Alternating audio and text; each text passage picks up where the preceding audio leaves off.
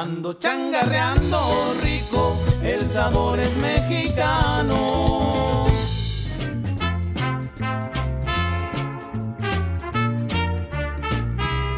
Pastor de pollo, llegamos a la condesa queriendo conocer a Poncho, el de Pollos Poncho, pero vaya sorpresa al descubrir que el nombre de este negocio se debe a que está en la calle de Alfonso Reyes. Se trata de un lugar bueno, bonito y barato. A simple vista parece una rosticería, pero va más allá. Cierto, la materia prima sí son los pollos rostizados, que se venden por pieza o taco, con su perejil frito. También están los pollos rancheros. Bueno, la diferencia sería del adobo que eh, le, echamos adobo al pollo ranchero, eso es el único. Y luego también este, se distingue un poco lo que va abierto, nada más. Eh, es chile, chile mezclado con piña y todo eso. Eso es la preparación que lleva este adobo. Pero como dijimos, no solo es rosticería. El éxito de la casa son los tacos al pastor, de pollo. Y en tortilla normal, no de la chiquita, ¿eh? Pues para darle otro tipo de gusto a la gente. Lleva ajo molido, pimentón y achiote. Es otro sabor, eh, también está bien bueno. Eh, es igual como la carne de puerco, pero pues no le hace daño a la gente que si está enferma o cualquier cosa. El pollo también lo sirven en mole o tortas.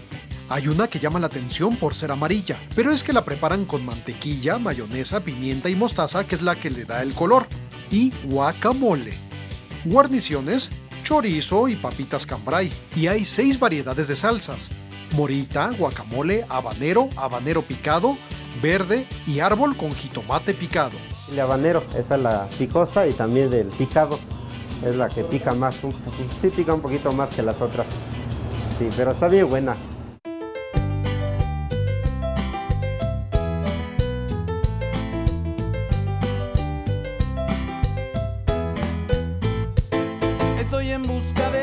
Las paletas heladas sencillitas son el postre sugerido por la casa y tú decides si comes dentro o fuera.